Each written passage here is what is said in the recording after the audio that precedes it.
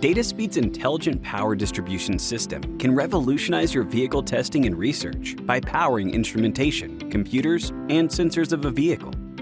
The system is designed with commonly used communication interfaces to support drive-by-wire autonomous vehicle research, advanced driver assistance systems experimentation, and any automotive electronics testing. The IPDS is ideal for R&D due to its intuitive controls, easy setup, and user-friendly interface.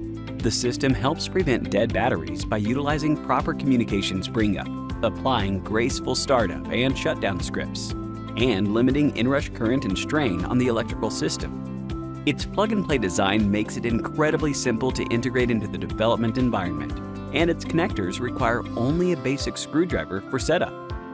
The IPDS features 12 automotive independent DC relay channels at 12 to 24 volts and can be extended to 48 total channels with the addition of three units. Each unit includes two long-life cooling fans, as well as internal temperature sensors for channel temperature monitoring. The IPDS controls the power sequencing and continuously monitors each of the channels, reporting its electrical current and health status.